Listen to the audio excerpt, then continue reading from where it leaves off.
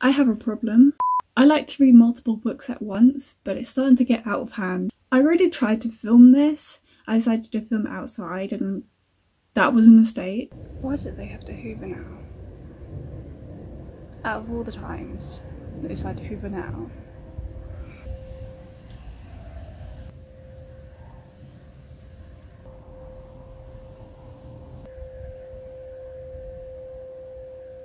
You know what? I'll be back. They stopped hoovering, but someone started drilling.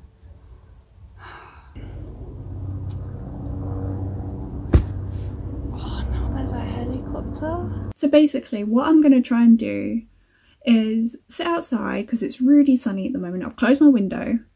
You're welcome because it's so noisy outside and there's oh there's someone looking for their missing cat um, around my street and obviously they keep having conversations with neighbours and so it's distracting but hope they find their cat Fel Felis Fel Felith I hope they find them so I've set up a little picnic blanket cushions basically a little reading nook outside while it's we're having this little heat wave so I'm gonna sit outside and try and finish all the books that I've started. I did start out with six.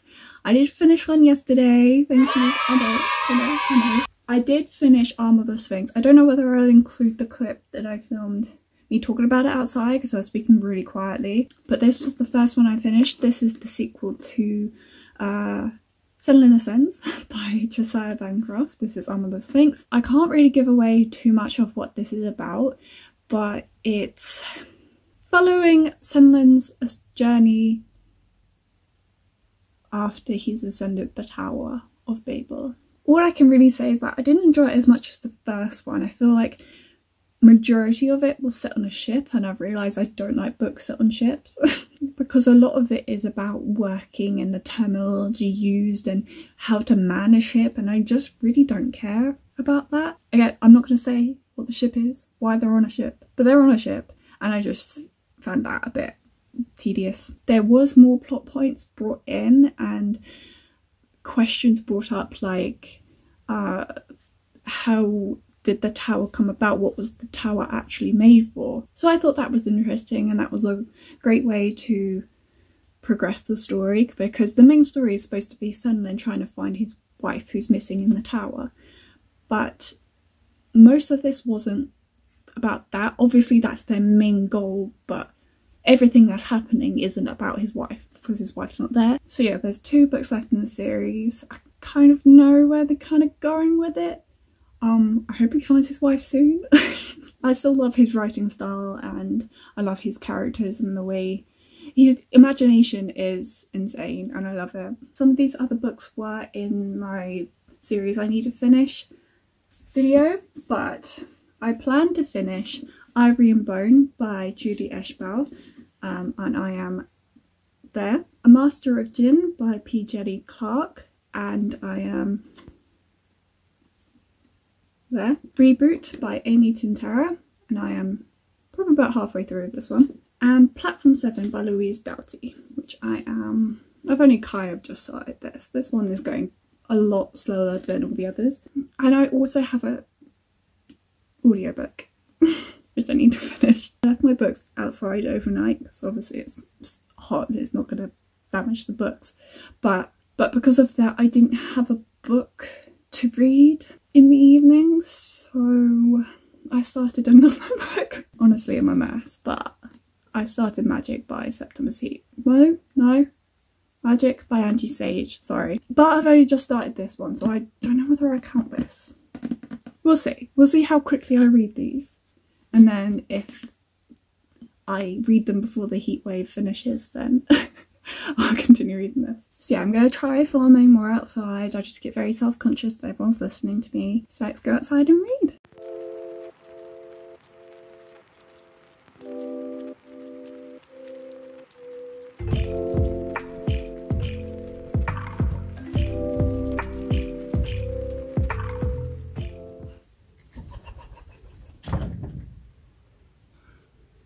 Pigeon that just sits up there, it got scared and it flew off and now it's just sitting on the fence.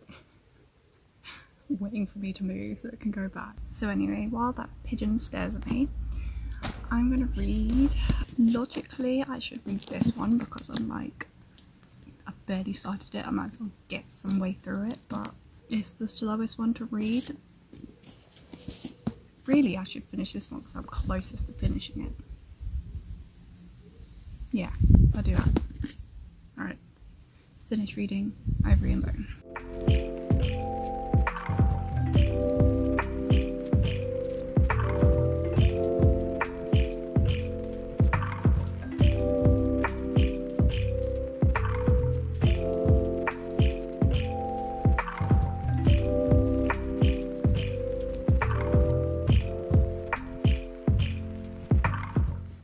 Finished Ivory and Bone. It's there's a fly. I think I started about 12. So it's been an hour and a half. Finished one book. Doing good. To be honest, I don't really have a huge amount to say about Ivory and Bone. It's a middle grade book about set kind of in the Stone Age, Ice Age, when mammoths were around. And it basically tells the story of two clans um, who are rivals with each other. It's sort of like Romeo and Juliet, and the boy comes across the girl from the other clan and like basically falls in love with her. And it's basically telling the story of how the clan, his clan, is trying to win over the affections of this other clan because of resources and things. Like the other clan has better resources, and there was this big feud that happened like five years ago or something, and it caused this rift. Which is fine, it's like a decent enough storyline set in sort of like a prehistoric time where they hunt mammoths, bison. So while that's all said and good, drama and the action wasn't although it was really well written, I enjoyed like the descriptions of the plains that they lived on and uh, the description of like the, the seal skins and things and hunting. But my biggest gripe with this book is that it was it was first person, but it was addressed to the girl that he fancied. So that bit was in second person. So he'd be like, I I did this, I did that, but I did this for you. And this might have been fine for whenever this book was written, it was probably really cute and not cringy. But after watching You on Netflix, it just gives it a whole new flavour. Like I've literally just got Joe in my head going. And then I watched You. You were beautiful. You were not like the others. and it was just every time it came across, like especially when um, the writer would just put you as a separate sentence. I was like, oh. I think addressing a character as you will forever be tainted. the action at the end, it kind of felt a bit abstract, like where did this come from? It was like a good action scene. I enjoyed the big climax at the end, but it was a bit like, okay, we weren't leading up to this, but suddenly we are. Overall, there was nothing like hugely bad about the book. It was okay, decent enough, three stars. I just needed to finish it, it just been too long. and I started picking it up and I realised that I'd forgotten all the characters. I last read it about two months ago and there is a lot of characters. So after picking it back up, I just kind of went along with it. I didn't really worry too much that I didn't know who anyone was. yeah, Baba. Have you found the missing cat yet? No. Okay, I'm gonna go have some food and then we'll start the next book.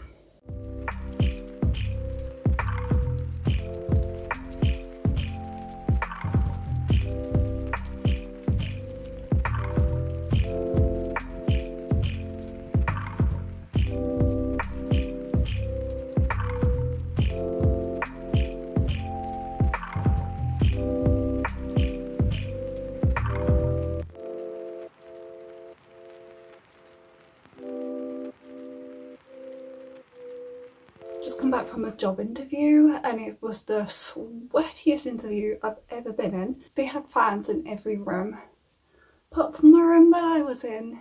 Like I think I was slowly becoming more and more bedraggled as the interview went on. I thought it lasted like an hour. It was half an hour. Let's not talk about that. So my book. I'm halfway through this now. Um, it's going really well. I'm, oh. This is really good. It kind of reminds me of Fantastic Beasts because the main character, she is basically working for the ministry ministry of alchemy enchantments and supernatural entities. So she's kind of in the in charge of supernatural things. And then a supernatural thing comes back and she has to solve the mystery along with her new colleague. Basically like two women fighting supernatural crime in the 1910s in Egypt it's the setting obviously makes it really unique and the main character, I think she's a lesbian or bi or a lesbian. Her and her sidekick are trying to uncover the person who claims to be Al-Jahiz, who unleashed all these supernatural beings onto the world and apparently he's come back. Agent Fatma thinks that he's an imposter and he's not the real thing. But he murdered loads of people so that's why she has to investigate because it's a crime. Obviously I'm only halfway through and I will continue but first I do need to change, have a shower. I'll get back to you when I'm not like dying. Also I finished my audiobook. I didn't really talk about it but there was a reason for it. It was literally one of the worst things I've ever read. Not for me at all. One star, don't want to talk about it. I'm glad it was over.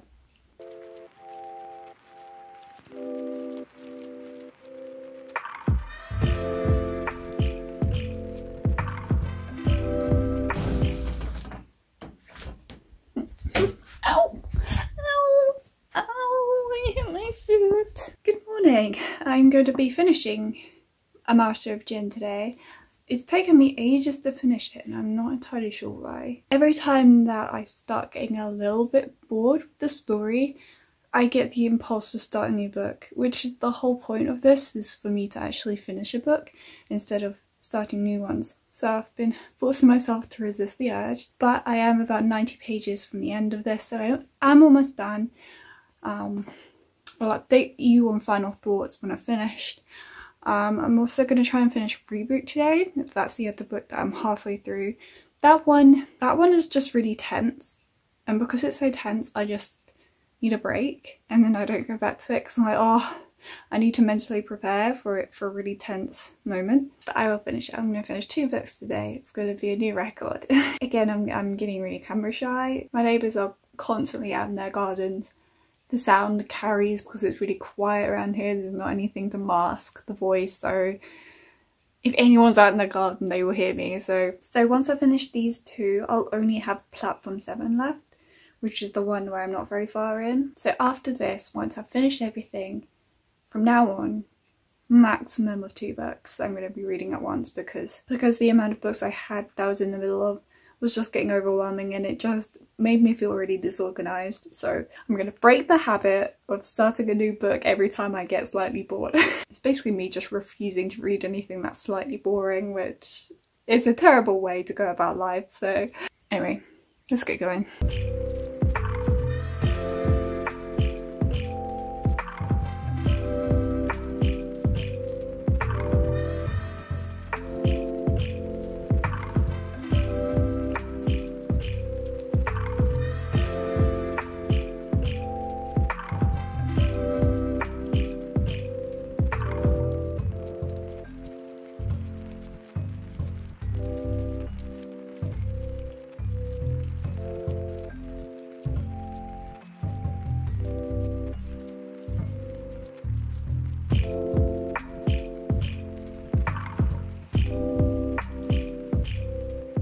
Finished Master of Djinn.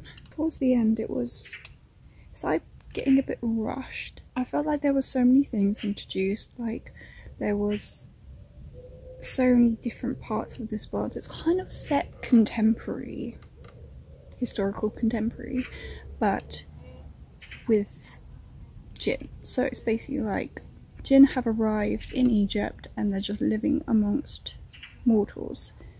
I just felt like there could have been more world building.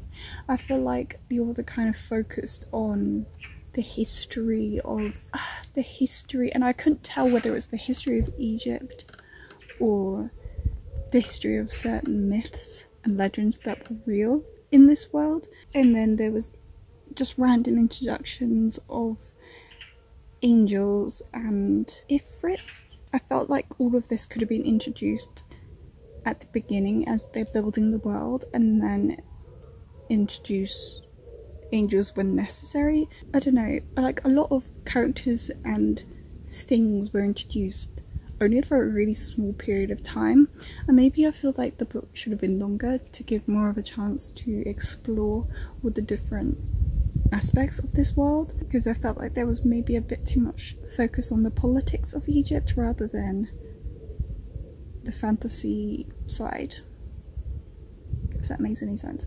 It reminded me of House of Earth and Blood by Sarah J Maas because they're both set in a city and they're both having to do this murder mystery inquiry trying to find who's the root cause of it and in the city there's humans but there's also non-humans magical beings so it kind of felt like that but just more politicky and obviously in less detail i think the books are only about 400 pages which for a full I don't think it's part of a series. I think it's a standalone. So maybe in my head I'm subconsciously comparing it to House, House of Earth and Blood because although Sarah J does like to go on a bit, like you can't fault her for the amount of detail that she puts in, you know? But yeah, now I'm going to move on to Reboot. Finish that off. Hello. Back to this angle. So Reboot. What can I say about Reboot? It's dystopian. Shock, horror, surprise. Oh my god, could you believe? No one saw that coming. Best way I could describe this is Warm Bodies meets Shatter Me? Yeah, but more warm bodies. Kind of post-apocalyptic, there's this virus that causes people to die. Then they wake up again a certain amount of time later and they're called reboots. How long you're dead determines how powerful you are as a reboot. So we're following Wren, who is who's known as 178, and 178 is like the longest reboot they've ever had. So that means that she's really powerful, but also means she's furthest away from being human. So she's kind of like, she doesn't really have emotions. She doesn't really understand what laughter is.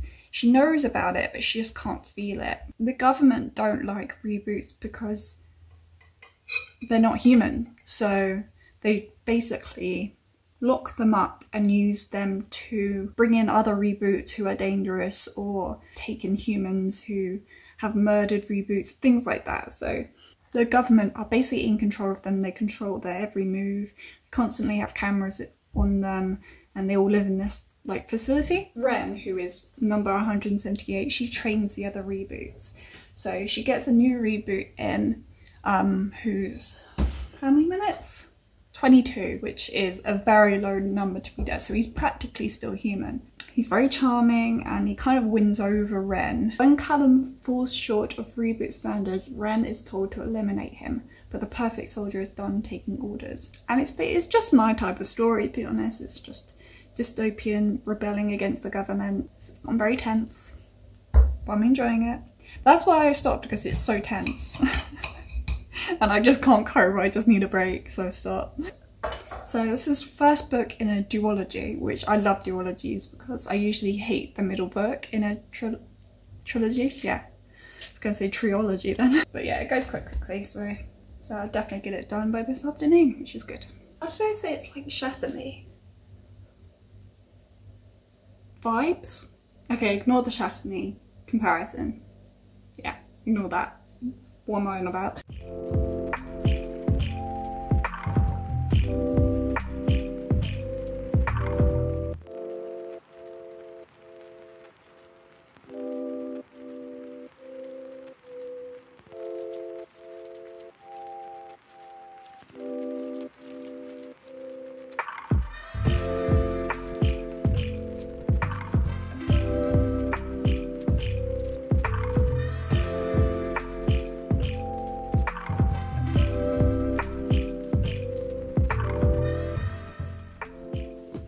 Another book down.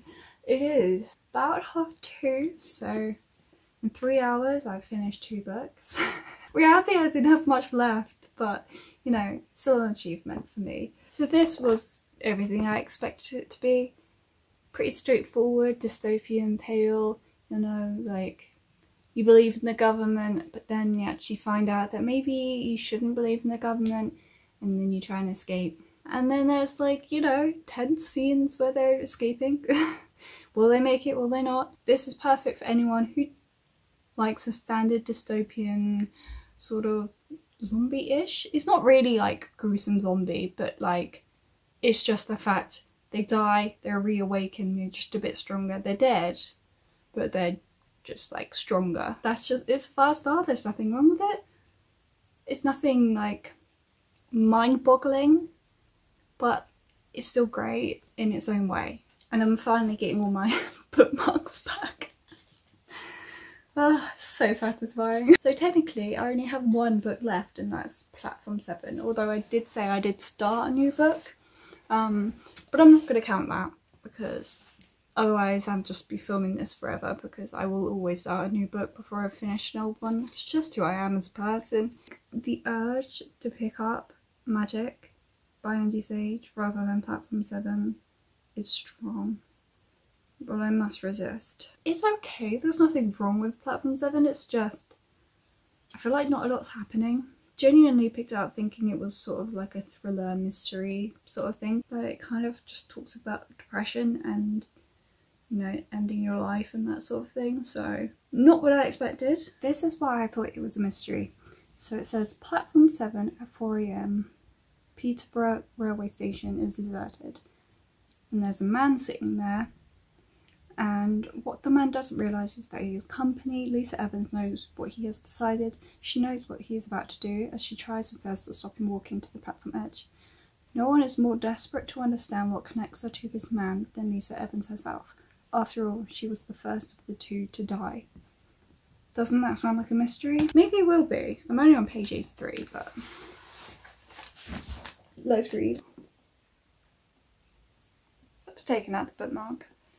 I'm just not feeling it. I think I'm just gonna have to like pass this up. It wasn't even mine to begin with, it was my mum's. So I'm just gonna pass it along. I'm sure someone else would love to read it. I'm just, maybe I'm just not in the mood to read about that sort of thing right now. Or especially after all the things that I've read already. Like I've been reading recently, it just doesn't really match up to that level that I'm used to of enjoyment. That is like, it's probably a good book, but uh, level of enjoyment I'm just to class that one as a DNF. I've finished all the books that I set out to read, mostly. Mostly. So technically, now I'm only reading Magic, which I've just started. I've just started an audiobook, but the audiobooks I listen to before I go to sleep to like get my mind off real life or just, you know, have that before I go to sleep so at least I have something to think about. And then I've only just started Magic, so I'll count that as the book that I've just started after all of these, you know? I can put all, them all back on my bookshelf. They're not going to be sitting on my bedside table for another few months. I'll probably include some clips on the beach, but just to round it off on a nice sunny note. So thank you to everyone who's made it this far. Thank you for watching and I'll see you next time.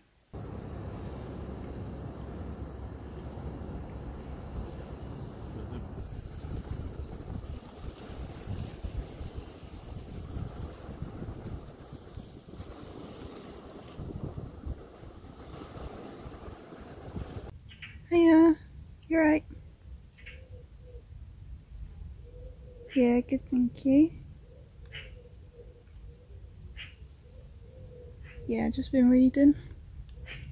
Yeah. Um, no, I just finished Master of Djinn.